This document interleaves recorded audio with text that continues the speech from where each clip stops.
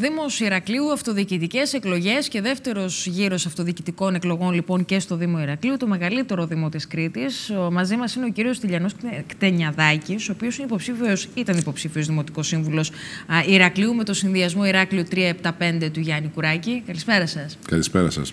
Σας ευχαριστώ πολύ που είστε εδώ, γιατί γνωρίζω ότι η μάχη συνεχίζεται. Η μάχη είναι δύσκολη ε, και η κούραση σίγουρα είναι συσσωρευμένη. Όμως, ε, έχω την αίσθηση, με όσο έχω μιλήσει και από τον συνδυασμό σας, ότι υπάρχει και μια διάχυτη ικανοποίηση, είναι έτσι. Σαφώς υπάρχει. Καταρχήν, να ξεκινήσουμε ότι υπάρχει καταρχήν κούραση, οπωσδήποτε. Σίγουρα. Ε, ειδικά για όλους εμάς που έχουμε τις δουλειές μας και επιστρέφουμε αμέσως την επόμενη μέρα δυναμικά στις δουλειές μας και σε όσα έχουμε αφήσει πίσω. Είναι όμως ε, τέτοια η αγάπη μας ε, για αυτό που κάνουμε, που ειλικρινά δεν το νιώθουμε σαν κούραση. Είναι μια διαδικασία η οποία θεωρούμε ότι την Κυριακή θα έχει ένα ευχάριστο αποτέλεσμα. Οπότε είμαστε όλοι ενωμένοι και όλοι πολύ ήρεμοι για το τελικό αποτέλεσμα. Λοιπόν, δίνεται μία μάχη, καθώς την Κυριακή ψηφίζουμε για δήμαρχο. Βέβαια, οφείλω εδώ να πω, όπως το τόνισα και χθες, θα το τονίσω και σήμερα, ότι έχουμε εκπρόσωπο της παράταξης Ηράκλειο 375 και όχι της δύναμης πολιτών, μιας και η δύναμη πολιτών προφορικά έχει απαγορεύσει στους υποψήφιου δημοτικούς συμβούλους να έρχονται για συνέντευξη. Κύριε Κτενιαδάκη, Πού πιστεύετε ότι θα κρυθεί η δεύτερη Κυριακή, μια Κυριακή για την οποία ψηφίζουμε λοιπόν για δήμαρχο, επιλέγουμε τον επικεφαλής του συνδυασμού, ο οποίος ουσιαστικά θα έχει και το τιμόνι του Δήμου. Αυτή την Κυριακή ουσιαστικά διαλέγουμε ανάμεσα σε δύο πρόσωπα. Διαλέγουμε ανάμεσα σε δύο ανθρώπους οι οποίοι έχουν ε, μια πορεία στο, στην πολιτική ζωή του Ηρακλείου και ελπίζω ότι η επιλογή είναι προφανής. Θεωρώ ότι η επιλογή είναι ο Γιάννης Οκουράκης, τον οποίο και στηρίζουμε και συνεχίζουμε να στηρίζουμε και αρχίζουν πλέον και, και στηρίζουν και άνθρωποι έξω από το συνδυασμό μας, γιατί βλέπουν ότι είναι ο άνθρωπος ο οποίος μπορεί να ενώσει όλες τις τάσεις σε ένα πολύ δύσκολο καινούριο Δημοτικό Συμβούλιο, έτσι όπως τουλάχιστον έχει καθοριστεί με τον τελευταίο νόμο, στον οποίο είναι απαραίτητες οι συνεργασίες και απαραίτητες οι συνεννοήσεις των ανθρώπων σε όλα τα επίπεδα και από όλες τις παρατάξεις. Θεωρώ λοιπόν ότι όντως θα είναι μια δύσκολη Κυριακή, γιατί ποτέ καμία εκλογική διαδικασία και καμία εκλογική αναμέτρηση δεν είναι εύκολη, αλλά πιστεύω ότι είναι τέτοια η δυναμική του Ηράκλειο 375 και του Γιάννη Κουράκη, που την Κυριακή το αποτέλεσμα θα είναι ξεκάθαρο από την πρώτη στιγμή. Ξέρετε, συζητούσα πριν και με τον Δήμαρχο Πλατανιά, αλλά και όλες αυτές τις μέρες που συζητάμε αυτό διοικητικά και για το νέο νόμο για τον Κλειστένη, ότι κάθε Δήμαρχος σε κάθε περιοχή έχει ένα πολύ μεγάλη, μια πολύ μεγάλη πρόκληση μπροστά του. Να καταφέρει να έχει όρους κυβερνησιμότητας στον Δήμο με τα αποτελέσματα τα οποία έχουν διαμορφωθεί μέχρι αυτή την ώρα, φαίνεται ότι ο Γιάννης Κουράκης καταλαμβάνει 18 έδρες μέσα στο Δημοτικό Συμβούλιο. Είναι η παράταξη με τις περισσότερες έδρες. Είναι αυτό α, μια, μια παραπάνω, αν θέλετε, εξασφάλιση, δικλίδα ασφαλείας, ότι ενδεχομένως θα εξασφαλίσει και πιο εύκολα α, ζητήματα τα οποία πρέπει να περάσουν από ένα Δημοτικό Συμβούλιο. Σαφώς είναι ιδιαίτερα σημαντικό για μια παράταξη να έχει τον πρώτο λόγο στο να θέτει πολιτικές, να θέτει ζητήματα και τελικά να μπορέσει να τα προχωρήσει. Είναι σημαντικό που η παράταξη μας έχει 18 έδρες από τις 49 του Δημοτικού Συμβουλίου. Ε, αλλά σίγουρα χρειαζόμαστε οπωσδήποτε τις συνεργασίες και τις συνεννοήσεις με όλους. Θεωρώ ότι έτσι όπως είναι ο νόμος έχει το μεγάλο μειονέκτημα ότι ε, η παράταξη η οποία βρίσκεται πρώτη κινδυνεύει εντός εισαγωγικών μερικές φορές να βρεθεί εκτός δημιουργώντας ένα τεράστιο πρόβλημα στη συνολική λειτουργία ενός Δημοτικού Συμβουλίου.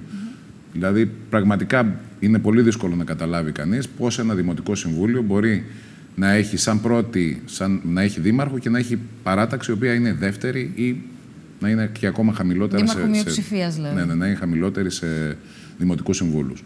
Θεωρώ ότι πραγματικά οι 12 δημοτικοί σύμβουλοι που εκλέγει η παράταξη ε, της δύναμης πολιτών είναι αρκετά μικρό νούμερο ώστε να εξασφαλίσει την απαραίτητη συνεννόηση στο Δήμο.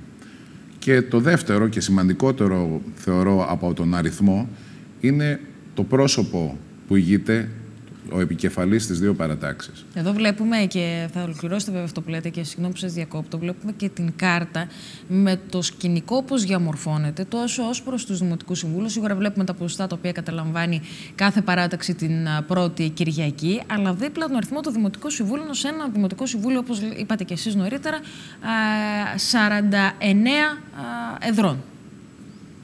Είναι ένα Δημοτικό Συμβούλιο το οποίο έχει ανθρώπους από με διαφορετικές προεκτάσεις και με διαφορετικές προελεύσεις. Και θεωρώ ότι θα ζήσουμε πολύ μεγάλες στιγμές στο νέο Δημοτικό Συμβούλιο.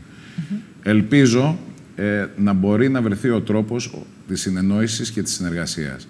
Και το λέω ελπίζω με την έννοια ότι ε, θα πρέπει οι άνθρωποι οι οποίοι βρίσκονται στο Δημοτικό Συμβούλιο, στους οποίους δεν ανήκω εγώ, ε, να βρουν τον τρόπο ώστε να αφήσουν τα εγώ τους και να προχωρήσουμε στο εμείς.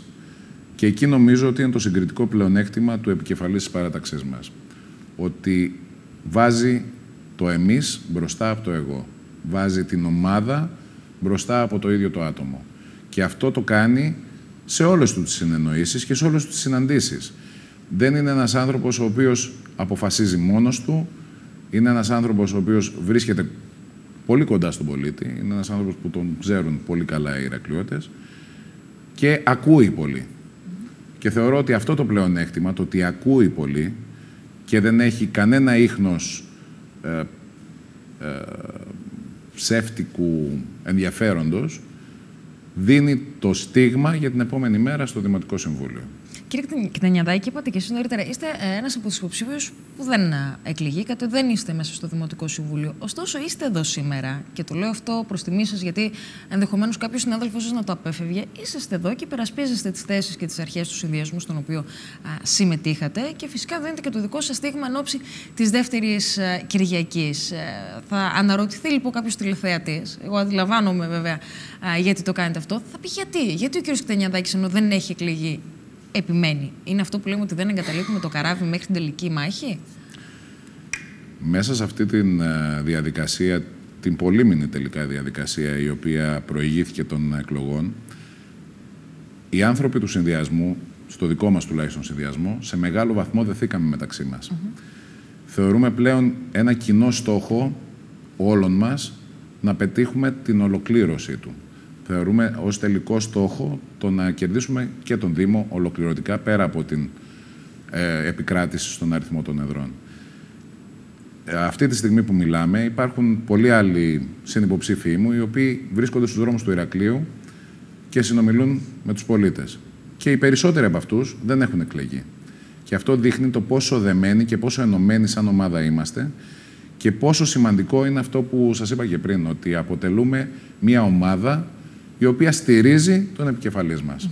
Και ο επικεφαλής μας είναι αυτός ο οποίος θα στηρίξει και όλες τις άλλες ομάδες. Άρα να φανταστώ ότι και την επομένη των εκλογών, λοιπόν, εφόσον εκλήγει, εκλήγει ο Γιάννης Κουράκης, ε, δήμαρχος Ηρακλείου, θα έχετε και κάποια συνεννόηση, θα έχετε συζητήσεις, θα έχετε επαφές ότι έχει να κάνει με, το, ε, με τα ωφέλη τα οποία πρέπει να δούμε και στον Δήμο του Ηρακλείου. Οι δικές σας οι προτεραιότητες, εκεί που θέλετε να στοχεύσετε ή το πρόγραμμα ενδεχομένως το οποίο αρμόζει και σε εσάς, κουμπώνει και σε εσάς, αν θέλετε να το πω, να το πω καλύτερα. Ποιες είναι οι προτεραιότητές σας; Η προτεραιότητα νομίζω είναι αυτό που έχει τεθεί από όλους και από όλες τις παρατάξεις και αυτό που έχει αναδειχθεί κατά τη διάρκεια όλης αυτής της διαδικασίας.